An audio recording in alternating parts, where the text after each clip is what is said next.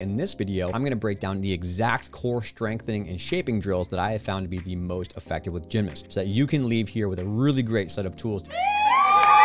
Before we dive in though, a couple things. First, we're gonna be start doing a lot more YouTube content. So every Friday, we're gonna be cranking out videos based on community feedback for what they want to learn about. So if you really wanna stay up to date, make sure you hit the notification bell, make sure you subscribe right down below. Second, we're gonna start doing a lot more exciting giveaways for people who are watching the YouTube channel exclusively.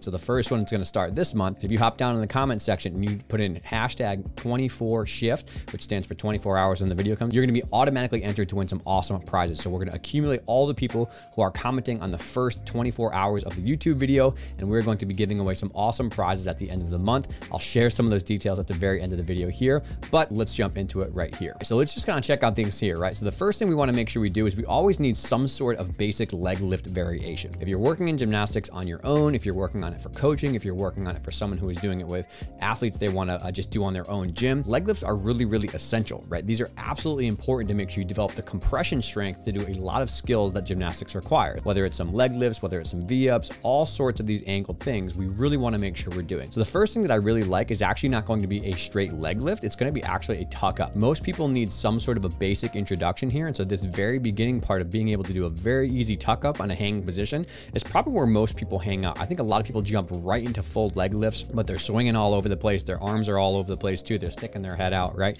So you, I just like these real basic, just kind of easy tuck up. These tuck ups are probably the best place to go. You can even start on something that's not a full leg lift by doing an angle here. So what you can do is set up some sort of a block on the bottom here and do an angled leg lift, right? I love these. These are super helpful. So you can see here, she's on an angled block that's been stacked up. And by angling it at 45 degrees, it's still super hard on the core, but it's still very, very effective, right? So now what we're doing is we're letting somebody really keep their ears covered, really get that full compression, and we're allowing someone to really control the slow down part. Now, the thing here is that we want to make sure there's some couple common errors we don't want to see, okay? So number one, we don't want to see someone's head going all over the place. You really got to keep the ears covered and keep the eyes neutral so that the core is doing the work and not so much the arms, okay? Number two is you don't want someone to be swinging, right? We don't want momentum to be what's getting someone's legs all the way up to the bar. So a lot of people will do these on a stall bar to keep that leg from, uh, you know, flopping around at the bottom. But I think in any version that you do, tuck, angled, whatever you want, you really have to make sure that the legs are not swinging around too much, okay? And then number three,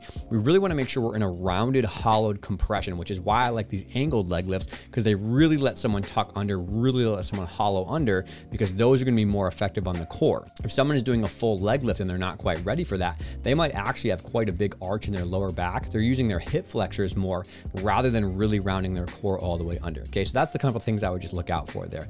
Now, what do we do for sets and reps here? I really like three sets for these because it's really easy to just fly through them and not do them with control. So you're looking at three sets of six to eight. I think a one second tempo up and down is really good. And I really like at least two times per week, right? People who are training more, you know, advanced work, more elite work, they might do these every day. But for most people, I think two, two times a week, because there'll be many other core exercises that are good. I'd probably start there first. The next one that I actually like is kind of going to be something more of a slide through. Okay. So what I mean by a slide through is I'll show you the video here. We're going to set somebody up on panel mats or between two blocks, and we're going to actually have a slider on their feet. And you can see it when she pushes out into the front here, right? So the slider goes on their feet. And what this allows someone to do is really work on this compression and this tuck through aspect in two pieces. One is we have the extension part in the front, which is really, really good to open up the hips and work the lower back as well. But then obviously we have this compression part in the middle, which is really where we're working hard to get the core completely folded in here. So requires quite a bit of lower core strength and that compression strength is then being worked on. But then we also get the added bonus at the back here is we're working a nice tall plank, okay? So I really love these, right? To go all the way back and forth and I'll let it play a couple times while I'm talking. But I really love these just to kind of go back and forth. And the good thing about these is you can really scale these to whatever athletes need, right? So Taylor actually in this video is one of the taller gymnasts that I've worked with. And she had a really tough time doing any of these on the floor. But just putting her up on one panel mat really allows her to go all the way through. You have some other athletes that are a little bit smaller, a little bit shorter that can do them on the floor, no problem, right? But sometimes people need a little bit of assistance just to get started here, right? Doing a little bit higher and working your way down, maybe a panel mat and a half, maybe a springboard, then you take half the panel away. You can allow someone to kind of slowly get in the groove for themselves all the way. Okay, so reps on this will be about 10. Okay, again, I really like three sets for this one because you can superset it with something else. And I think one to two days per week is pretty good good. Errors on this one is going to be not opening the hips fully. So what I mean by that is getting right to like this position here, not opening the hips up fully and just letting the legs bend a little bit too much, right, to get out in the front. So I think someone really wants that full extension here. And then the other one is going way too fast, right? Athletes will oftentimes find this struggle point like right here, through the middle and they'll just kind of like rip in and out really fast. So really encourage that person to take that tempo of one second, one second to go through, one second to pause on this side, one second to go through, one second pause on this side and keep the eye line and vision with the ground too, right? Eyes are on the ground and then eyes are neutral here. So I really love these a lot. They're super easy. They're really great for young athletes to do who are just learning and they have a lot of really good transfer over to many other skills in gymnastics. Okay, number three, are going to be some sort of extended hold. Now, what you just saw in the first two videos was a lot of active flexion of the lower core, right? So that's really important. We love that. But so much in gymnastics really demanding uh, perfect hollow neutral shapes or perfect arched hollow neutral shapes. And what I mean by that is you're static, right? So what we're gonna do here is we're gonna actually set somebody up on a springboard and we're gonna have somebody be held down by their feet. So whether a friend holds them or they can have a partner hold their ankles, they can go under another block, they can go under a beam, they can go under a static surface, whatever else it is. And what you're gonna do is set somebody up so that their hips are on the springboard or the block or off the edge of a pit or something like that or a, a spotting block.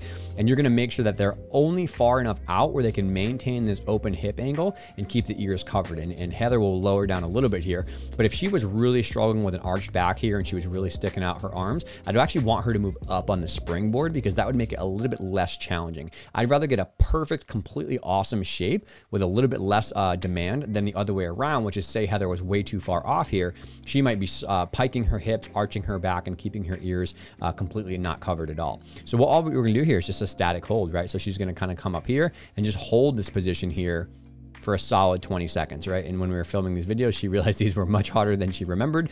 But essentially, you can do these really, really well in every direction. So you can do these kind of front to back here. You can also do these in, a, on an arch hold as well or on a side hold. So I really like doing 20 seconds of each. So this would be a side plank hold here where again, she's keeping the hips open, She's keeping the ears covered. And if you were to look from the top, her shoulders, her hips, and her feet would all be in a nice straight line. So I really love these extended plank holds here. And then I really like these versions when we're kind of going on our back to work our lower core or our stomach to work our lower back, right? So all these are really good. I would do about 20 to 30 seconds here, probably two sets and 20 of each. So 20 on your back, 20 on your side, 20 on your stomach, 20 on your other side to really get a nice holistic core training here. So I really love these quite a bit. The tempo is going to be about that 20 to 30 seconds because that's how much one uh, repetition will be.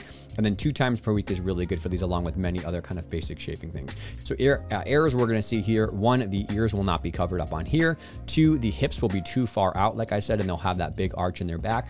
Or three, they're gonna have their hips being closed. So she would be sitting up and she wouldn't be open enough. Or here you would see her kind of having a jackknife effect from the top down, okay? I think this is a hilarious still shot, by the way, to see her face reeled in there.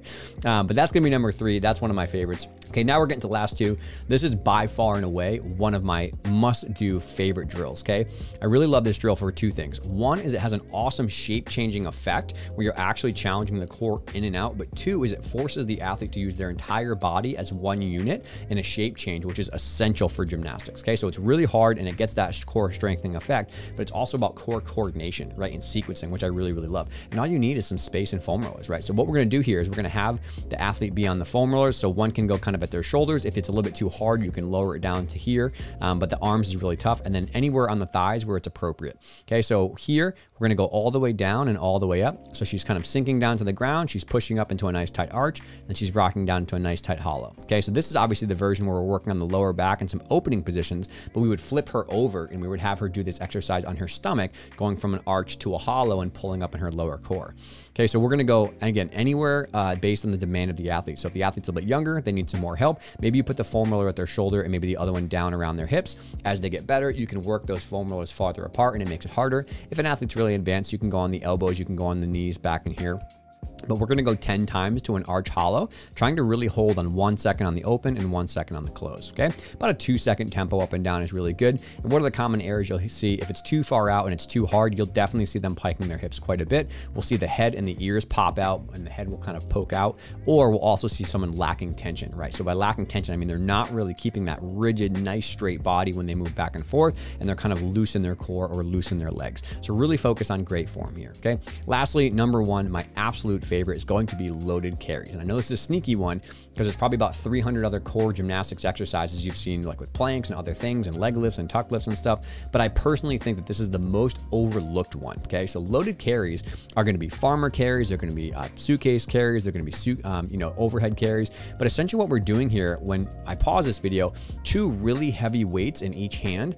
are pulling down on her core. And the reason this is such a great core exercise is because it actually forces the core to work exactly how it's designed, which is bracing in a 360 degree manner while controlling breathing, right? That really is the most essential function of the core for many sports, but just overall in athletics. So these farmer carries really mimic some of that really heavy impact forces that happen on gymnastics. So you're gonna get this really great core bracing effect. You're gonna get a breathing effect with the diaphragm, right? You're also gonna get some shoulder work here, and you're gonna get some single leg stability on this outside glute med which is just a super big bonus. So I'm a massive fan of these, right? Real slow, controlled steps all the way up and down. And it should be heavy enough where it feels as though they're almost gonna wobble over, but they can handle it, right? So I really, really love these. These are farmer carries. A suitcase carry is gonna be when it's in one hand. An overhead carry would be when maybe you're doing an overhead dumbbell and another one in a rack position. Those are great too. They all have different goals based on what you're doing, but some sort of a carry really should get in there. We'd probably go about 10 steps. We'd probably go about two sets. Again, a two second pause on each side. So leg comes up, hold, leg comes up, hold. And again, we try to be doing these almost every other day, if not daily, if we could, some variation of a loaded carry. So maybe the error is here that we're going way too fast. We're not having that pause there. Two is we have loose shoulders, so the weights are really just hanging off their body and they're not really controlling that scapular strength. And then having the chest dump forward. If the weight is too heavy and they're not really able to handle it, you'll see that chest fall forward and it'll be a collapse rounded position. We want the shoulders up tall and the chest really up tall as well. So yeah, those are super, super effective. And I think people should really be using using those as well. If you're someone working in gymnastics and you want 30 hours worth of amazing lectures on gymnastic strength, basics, you know, balance beam, floor, bar technique, medical providing stuff, strength conditioning, June this year is going to have the 2023 Shift Symposium. So I had to mention that because I know a lot of people are asking about this. We'll also drop down in the comment section below. This is a three day live virtual event, 30 speakers, 30 amazing gymnastics lectures. It's really going to be a fantastic event and we have it all set up. We already have uh, registrations are pouring in.